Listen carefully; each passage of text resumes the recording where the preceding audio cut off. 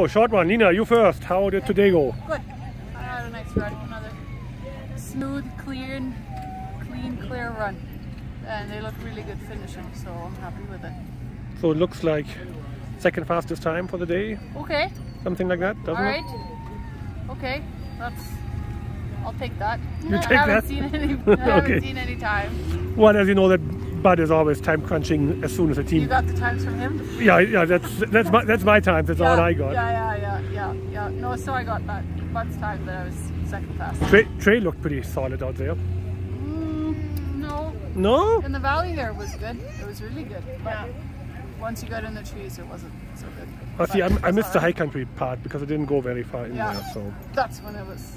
no, so- okay. Uh, but it was all right. Yeah, it was okay. It was good.